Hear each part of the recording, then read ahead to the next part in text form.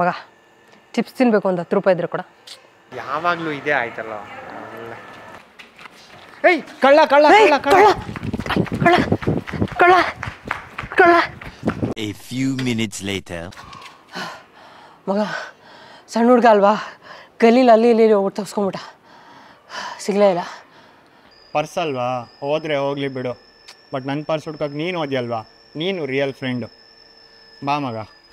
ಅಂತ ಒಳಗೊಳಗೆ ಸ್ಕೀಮ್ ಆಗ್ತಾರೋ ಒಂದೇ ತಟ್ಟೆಲ್ ಅನ್ನ ತಿಂದು ಮೂರ್ತ ಇರ್ತಾರೋ ನೆಕ್ಸ್ಟ್ ಟೈಮ್ ಓಡಬೇಕಾದ್ರೆ ಡೌಟ್ ಬರದೇ ಇರೋ ಥರ ಓಡು, ಆಯಿತಾ?